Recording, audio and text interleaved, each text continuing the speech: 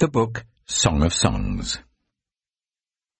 Song of Songs, Chapter 1 She Let him kiss me with the kisses of his mouth, for your love is more delightful than wine. Pleasing is the fragrance of your perfumes, your name is like perfume poured out. No wonder the young women love you. Take me away with you. Let us hurry. Let the king bring me into his chambers. Friends, we rejoice and delight in you. We will praise your love more than wine. She, how right they are to adore you. Dark am I, yet lovely. Daughters of Jerusalem, dark like the tents of Kedar, like the tent curtains of Solomon. Do not stare at me because I am dark, because I am darkened by the sun. My mother's sons were angry with me and made me take care of the vineyards. My own vineyard I had to neglect. Tell me, you whom I love, where you graze your flock and where you rest your sheep at midday. Why should I be like a veiled woman beside the flocks of your friends? Friends. If you do not know, most beautiful of women, follow the tracks of the sheep and graze your young goats by the tents of the shepherds. He. I liken you, my darling, to a mare among Pharaoh's chariot horses. Your cheeks are beautiful with earrings, your neck with strings of jewels. We will make you earrings of gold studded with silver. She. While the king was at his table, my perfume spread its fragrance. My beloved is to me a sachet of myrrh resting between my breasts. My beloved is to me a cluster of henna blossoms from the vineyards of En-gedi. He. How beautiful you are, my darling. Oh, how beautiful. Your eyes are doves. She. How handsome you are, my beloved. Oh, how charming and our bed is verdant. He, the beams of our house are cedars, our rafters are firs. Song of Songs, Chapter 2 She I am a rose of Sharon, a lily of the valleys. He Like a lily among thorns is my darling among the young women. She like an apple tree among the trees of the forest is my beloved among the young men. I delight to sit in his shade, and his fruit is sweet to my taste. Let him lead me to the banquet hall, and let his banner over me be love. Strengthen me with raisins, refresh me with apples, for I am faint with love. His left arm is under my head, and his right arm embraces me. Daughters of Jerusalem, I charge you by the gazelles and by the does of the field, do not arouse or awaken love until it so desires. Listen, my beloved, look, here he comes, leaping across the mountains, bounding over the hills. My beloved is like a gazelle or a young stag. Look, there he stands behind our wall, gazing through the windows, peering through the lattice. My beloved spoke and said to me, Arise, my darling, my beautiful one, come with me. See, the winter is past, the rains are over and gone. Flowers appear on the earth, the season of singing has come. The cooing of doves is heard in our land. The fig tree forms its early fruit. The blossoming vines spread their fragrance. Arise, come, my darling, my beautiful one. Come with me. He, my dove in the clefts of the rock, in the hiding places on the mountainside, show me your face. Let me hear your voice. For your voice is sweet and your face is lovely. Catch for us the foxes, the little foxes that ruin the vineyards, our vineyards that are in bloom. She, My beloved is mine, and I am his. He browses among the lilies until the day breaks and the shadows flee. Turn, my beloved, and be like a gazelle or like a young stag on the rugged hills. Song of Songs, Chapter 3 All night long on my bed I looked for the one my heart loves. I looked for him but did not find him. I will get up now and go about the city, through its streets and squares. I will search for the one my heart loves. So I looked for him, but did not find him. The watchmen found me, as they made their rounds in the city. Have you seen the one my heart loves? Scarcely had I passed them, when I found the one my heart loves. I held him and would not let him go till I had brought him to my mother's house, to the room of the one who conceived me. Daughters of Jerusalem, I charge you, by the gazelles and by the does of the field, do not arouse or awaken love until it so desires. Who is this coming up from the wilderness like a column of smoke perfumed with myrrh and incense, made from all the spices of the merchant? Look!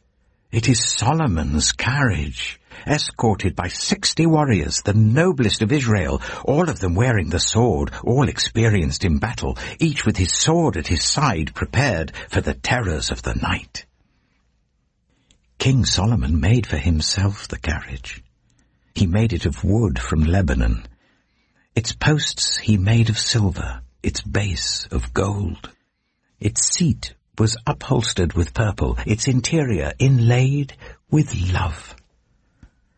Daughters of Jerusalem, come out and look, you daughters of Zion. Look on King Solomon, wearing a crown. The crown with which his mother crowned him on the day of his wedding, the day his heart rejoiced. Song of Songs, Chapter 4 He how beautiful you are, my darling. Oh, how beautiful. Your eyes behind your veil are doves. Your hair is like a flock of goats descending from the hills of Gilead.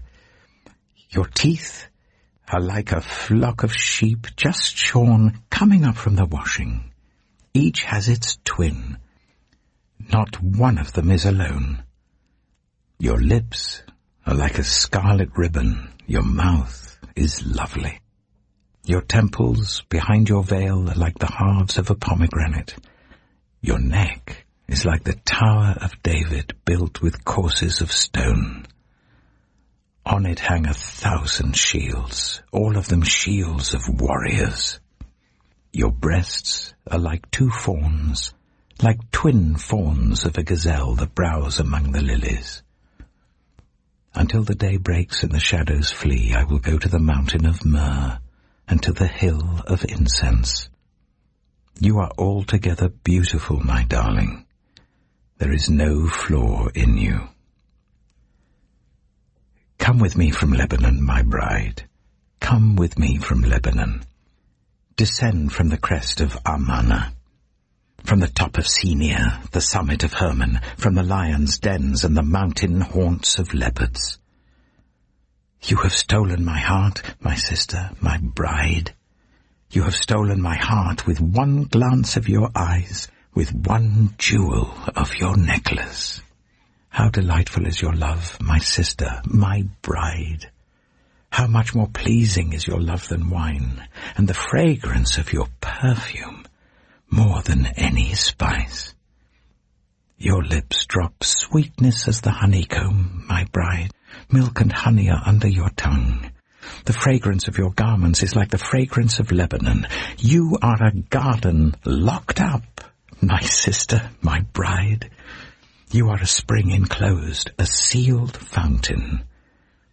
Your plants are an orchard of pomegranates with choice fruits, with henna and nard, nard and saffron, calamus and cinnamon, with every kind of incense tree, with myrrh and aloes and all the finest spices. You are a garden fountain, a well of flowing water streaming down from Lebanon. She, awake, north wind, and come, south wind. Blow on my garden, that its fragrance may spread everywhere. Let my beloved come into his garden and taste its choice fruits. Song of Songs, Chapter 5 He I have come into my garden, my sister, my bride. I have gathered my myrrh with my spice. I have eaten my honeycomb and my honey. I have drunk my wine and my milk. Friends. Eat, friends, and drink. Drink your fill of love. She. I slept, but my heart was awake. Listen, my beloved is knocking. Open to me, my sister, my darling, my dove, my flawless one. My head is drenched with dew, my hair with the dampness of the night. I have taken off my robe. Must I put it on again? I have washed my feet. Must I soil them again? My beloved thrust his hand through the latch opening. My heart began to pound for him. I arose to open for my beloved, and my hands dripped with myrrh, my fingers with flowing myrrh on the handles of the bolt. I opened for my beloved, but my beloved had left. He was gone. My heart sank at his departure. I looked for him but did not find him. I called him but he did not answer. The watchmen found me as they made their rounds in the city. They beat me. They bruised me. They took away my cloak, those watchmen of the walls. Daughters of Jerusalem, I charge you. If you find my beloved, what will you tell him? Tell him I am faint with love. Friends. How is your beloved better than others, most beautiful of women? How is your beloved better than others that you so charge us? She.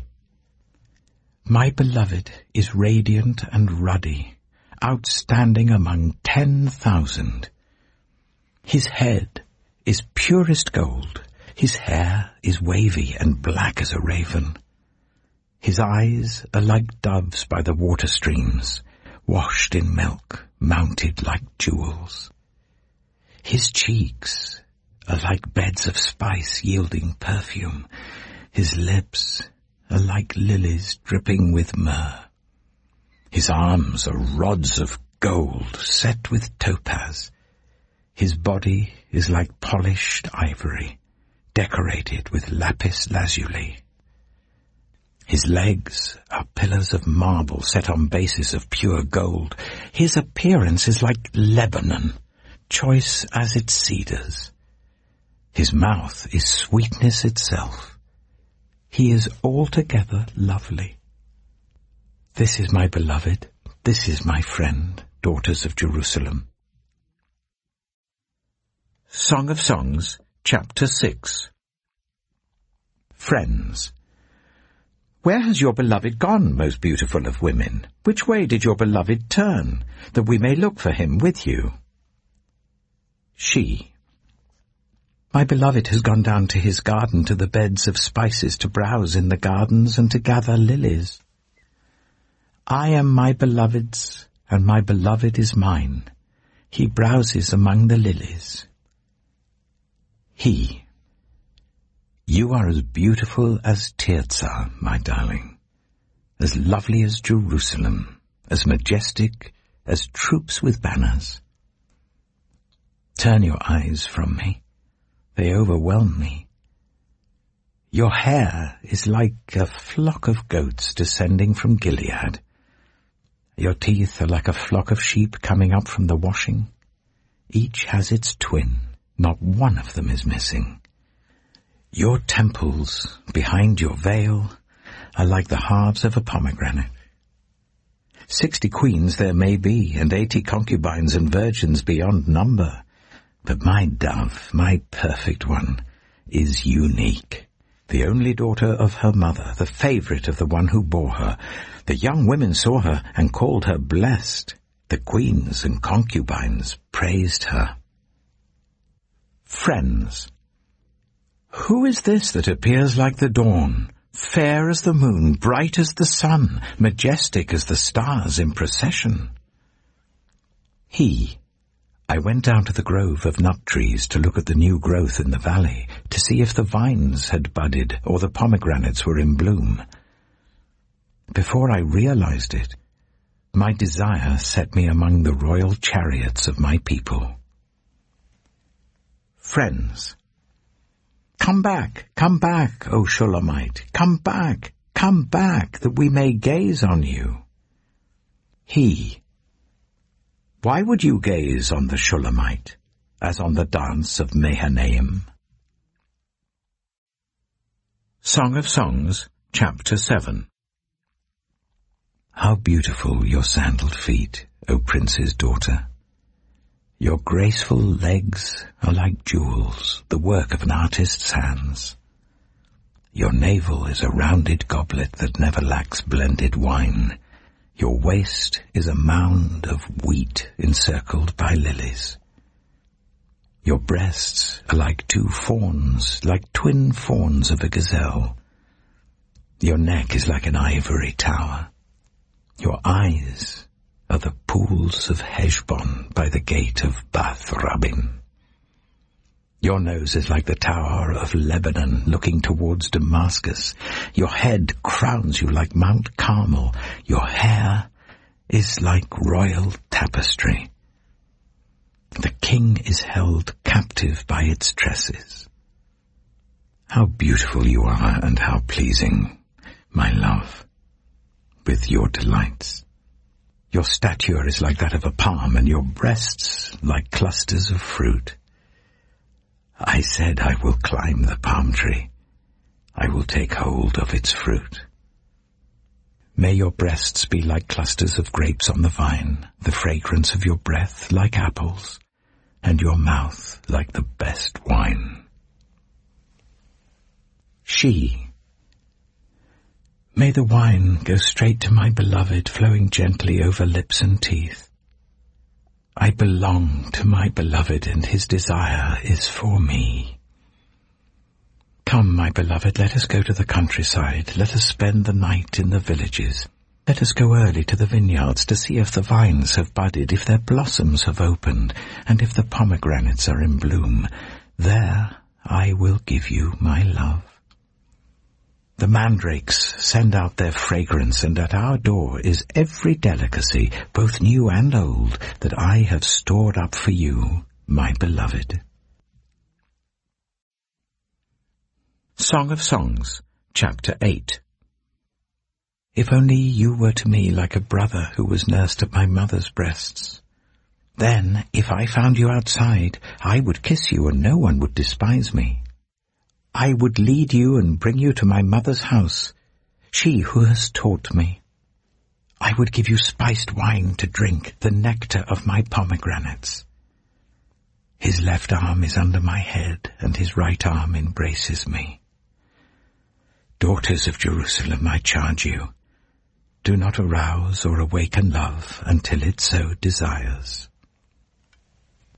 Friends, who is this coming up from the wilderness, leaning on her beloved? She. Under the apple tree I roused you. There your mother conceived you. There she who was in labor gave you birth. Place me like a seal over your heart, like a seal on your arm. For love is as strong as death, its jealousy unyielding as the grave. It burns like blazing fire, like a mighty flame. Many waters cannot quench love. Rivers cannot sweep it away. If one were to give all the wealth of one's house for love, it would be utterly scorned. Friends, we have a little sister, and her breasts are not yet grown. What shall we do for our sister on the day she is spoken for? If she is a wall, we will build towers of silver on her. If she is a door, we will enclose her with panels of cedar. She. I am a wall, and my breasts are like towers. Thus I have become in his eyes like one bringing contentment. Solomon had a vineyard in Baal Hamon. He let out his vineyard to tenants. Each was to bring for its fruit a thousand shekels of silver. But my own vineyard is mine to give. The thousand shekels are for you, Solomon, and two hundred are for those who tend its fruit.